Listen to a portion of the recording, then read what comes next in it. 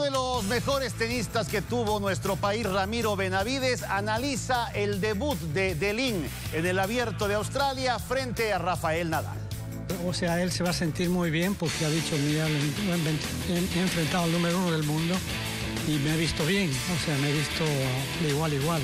Para Ramiro Benavides, Hugo Delin hizo un buen partido, toda vez que por primera vez se enfrentó al número uno del mundo. Puntualizó que el tema físico fue letal para el boliviano en el último set. Hugo, que al final el tercer set no resistió. El otro ya le pegaba palo y lo dejaba paradito. Más físico.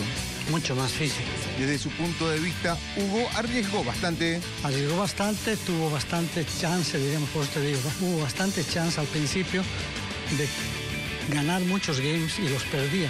Hasta ahorita ya sigo pensando esa volea porque quise poner el toque y no era el toque, era pegarle más firme y pero me vino muy al cuerpo y no me, no me pude acomodar bien, la verdad.